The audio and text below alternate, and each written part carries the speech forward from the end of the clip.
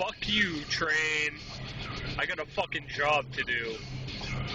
Damn it! I hate you!